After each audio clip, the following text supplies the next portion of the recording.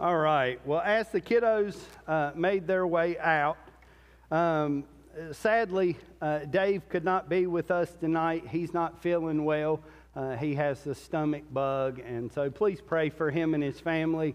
Uh, as many of you have had that little stomach bug, um, it uh, is not too little or too kind. So please uh, pray for the Keene family and anybody else that may have it right now um, or who has had it. Uh, and so let's pray that this uh, little bug gets, gets on through. Uh, and out the door. So, um, but let me open us up in prayer, and then we're going to dive into Hebrews chapter 10. Hebrews chapter 10. Let me pray for us. Father, we love you. Uh, we thank you so much uh, for allowing us to approach your throne boldly because of what you have done. Lord, it is uh, a humbling, uh, glorious thing uh, that you have shared with us yourself, your life for ours. And Lord, I pray that as we uh, celebrate you, uh, Lord, that we would be a people that remember this. In Jesus' name I pray. Amen. So, uh, this evening, uh, I am sharing with you uh, a passage that I needed today uh, to encourage me. Um, with the weather uh, that has uh, eliminated our outreach event last Saturday to rain that may be coming in today, I was discouraged you put all this time and effort and uh, thinking you were going in the right direction, and then rain and wind eliminate all of those efforts. So, what do we, as fallen human beings, how do we respond to this?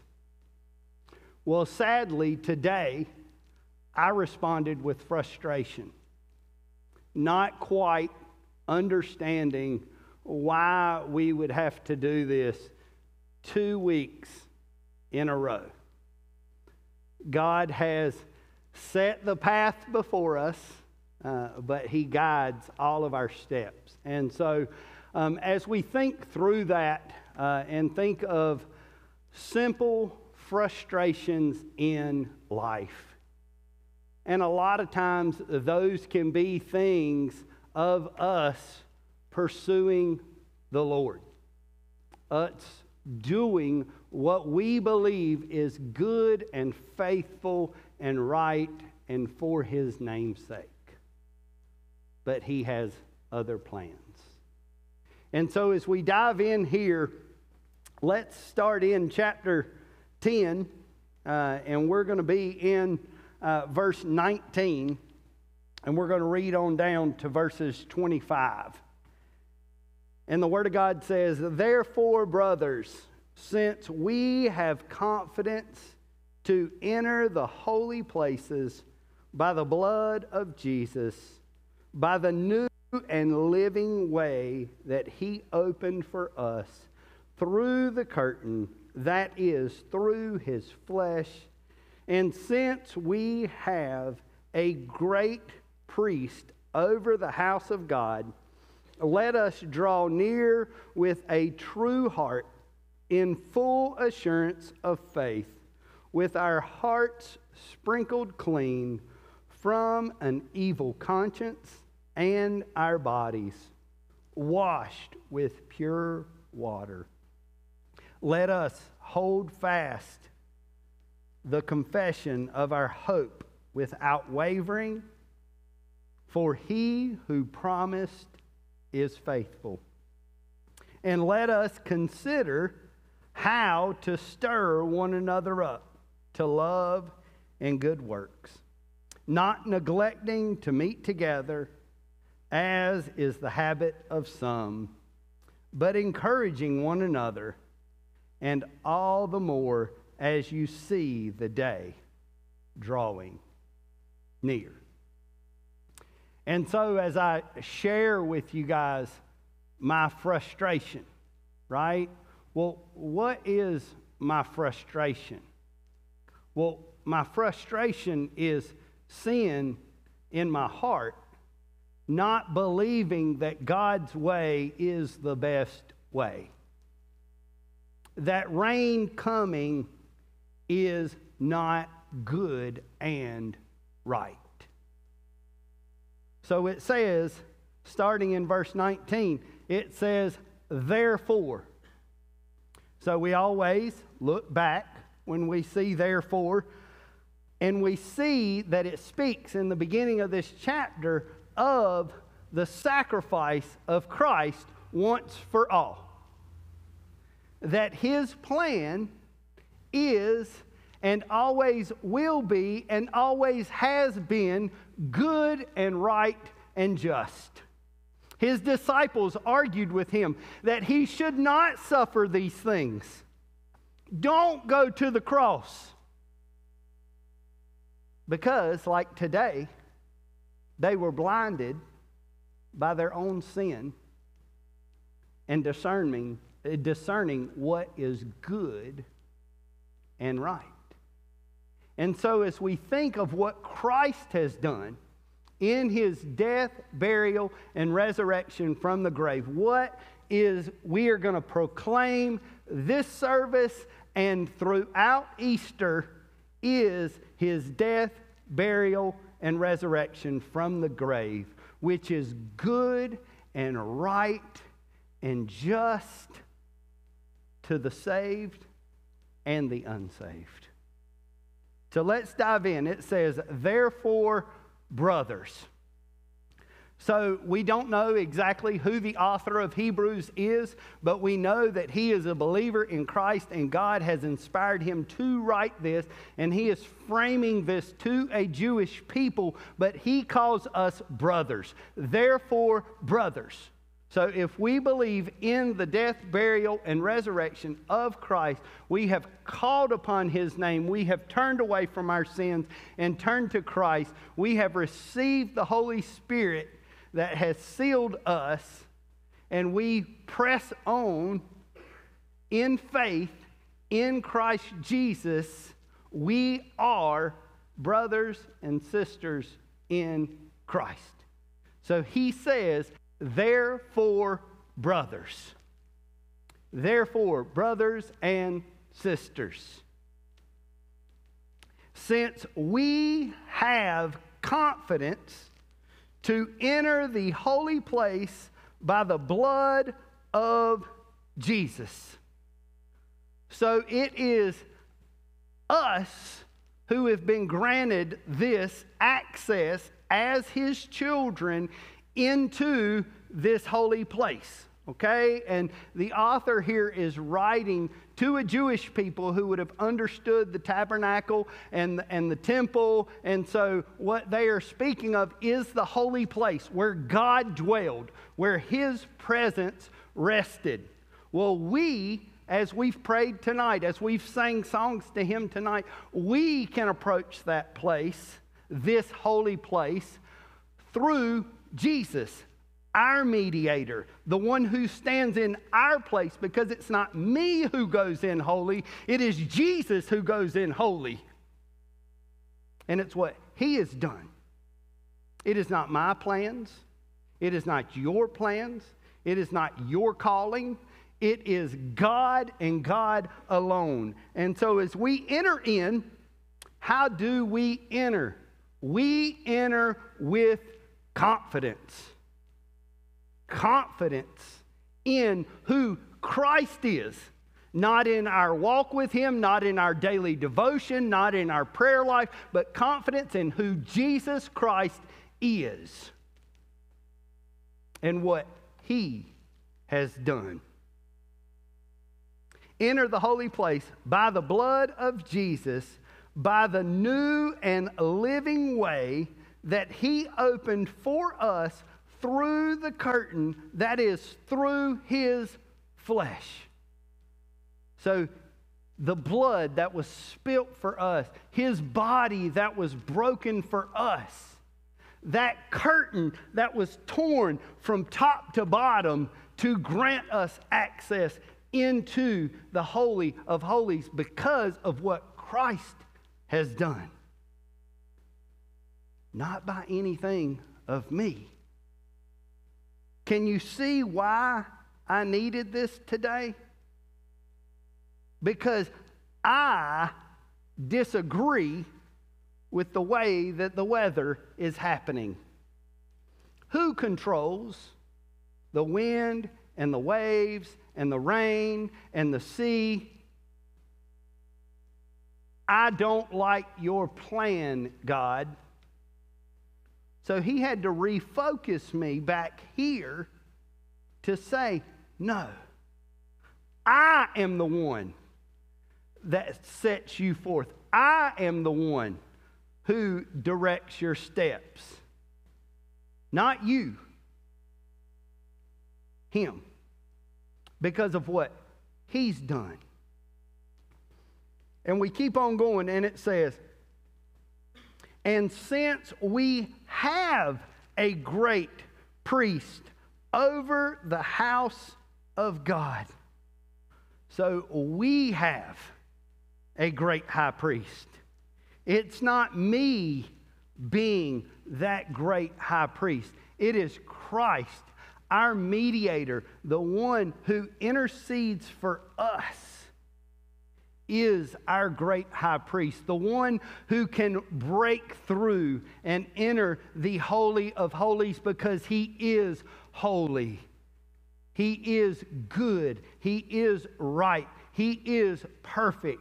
He is the Alpha, the Omega, the beginning, the end. He is all in all. It is because of Him as our priest that we can enter into these places. So then, as we see what Christ has done, now it says, let us. So the author is directing his attention to us now. So this is what Christ has done. So have any of you heard anything that I brought to the table? I didn't bring anything. Guess what? You didn't either. But Christ brought it all. But he includes us in, and he says, Let us. So listen to him. It says, Let us draw near with a true heart in full assurance of faith with our hearts sprinkled clean from an evil conscience and our bodies washed with pure water. Let us draw near. Let us draw near because of what Christ has done. With your evil conscience, draw near. Grant, with your sin today, draw near. Praise be to God that He allowed me to draw near. He didn't say, Golly, you stiff necked people. That's it. Here you are. You're in my hand. Bah, get out of here. Right? Praise be to God because that's what we deserve. But instead, He says, let us draw near by what he has done with my evil conscience and my body. Think about that. But wait a minute, what, what did he leave out? Did he leave out my, my anger, my lack of self control? Did he leave any of that out? No, he didn't. He said, Your evil conscience and your whole body has been sprinkled with the blood and washed with pure water because you're mine. We can draw near to him because he drew near to us. And praise be to God that us, in the midst of our sin, we have a Savior who we are celebrating today, but this week especially, that left heaven and drew near to us, putting on flesh, and lived a perfect and sinless life, and died in our place, and was buried, and raised from the grave, so that we could draw near with our evil conscience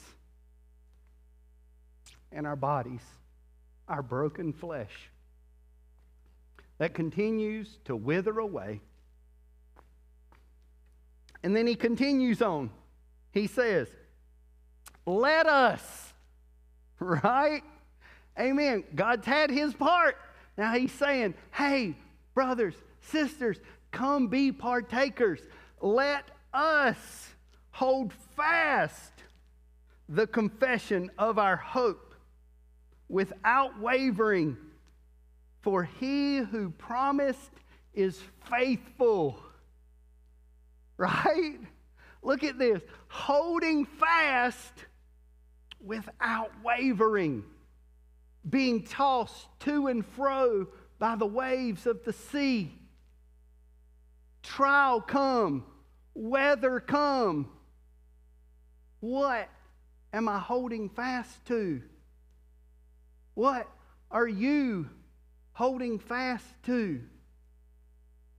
When the good that we try to do seems so fleeting, hold fast to Christ. Hold fast with an unwavering hope. With an unwavering hope. Not in me, not in my walk, but in Christ. The confession of his death, burial, and resurrection. That he is the Christ the Messiah, the Son of God, who came to take away the sins of the world. That unwavering confession. And then, once we're holding on faithfully to that, he tells us again this is our third let us. Let us consider how to stir up one another to love and good works. Let us consider. Think about that. That's what consider means, right? Think about it. Mull upon how to stir one another up for love and good works. Okay? Here's a little conviction for you. Look around the room. How many people have you thought of in this room who are your family? I'm saying just thought of, just popped in your head, came to your mind one time. And then let's think about if we mold upon, let us consider how to stir one another up. I sure didn't. After three o'clock, that was about it. I was shot. Right? It was like, okay, I'm not thinking of anybody else. How am I going to get by? But he says if we're holding fast, we will think of others and we will think of the good of one another. And so look at this next verse. It says, Let us not neglect meeting together, though it's the habit of some. Well, guess what? We met tonight And this gives you an opportunity to think about one another and how we can stir one another up. If we don't meet together, guess what?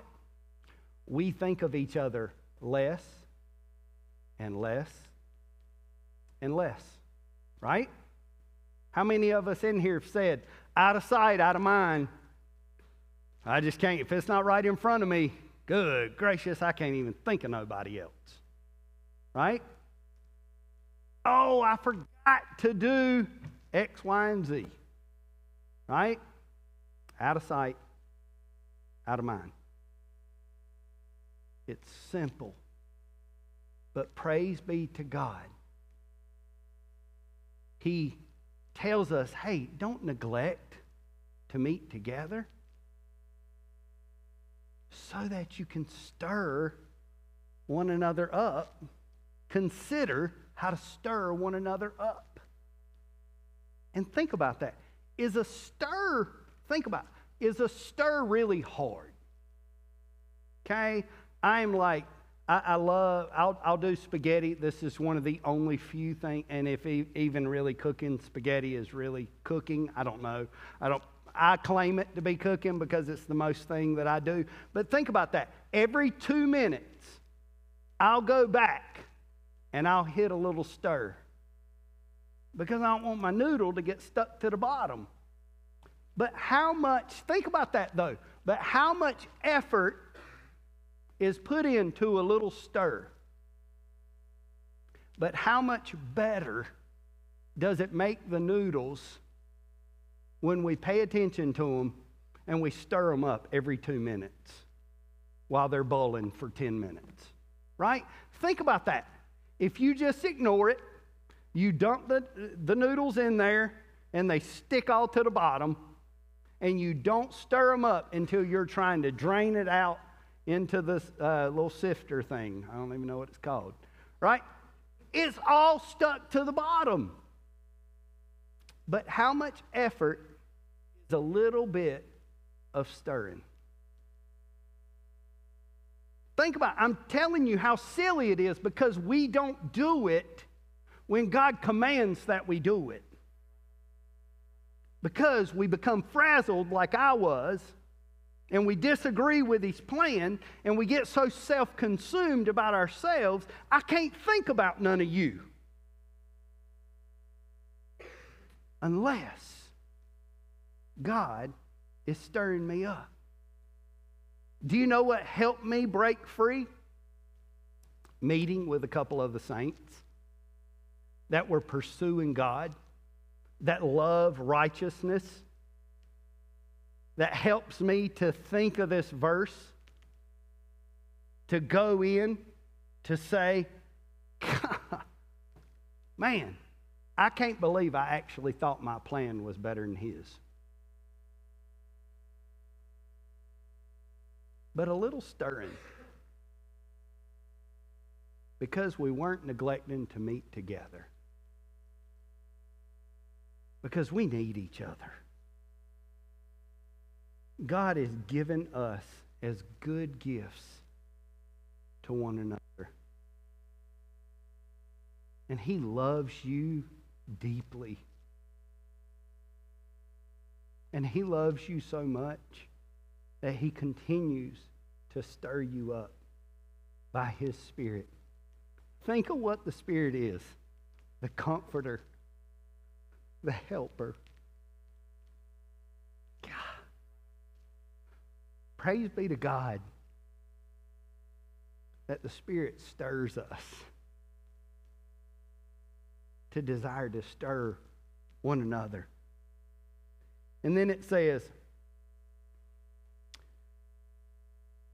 not neglecting to meet together, as is the habit of some but encouraging one another, and all the more as you see the day drawing near.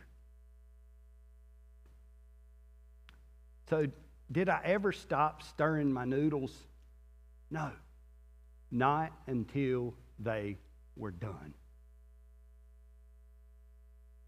And so, as we are encouraging one another to continue to run the race of faithfulness.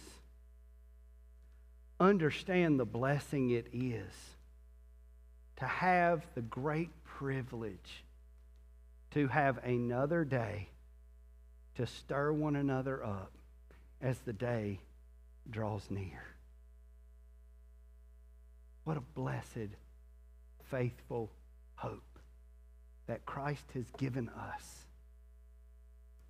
So let us let us hold fast. Let us draw near. Let us stir one another up because of what Christ has done. Let me pray for you. Father, we thank you that you have done it all, that it is finished.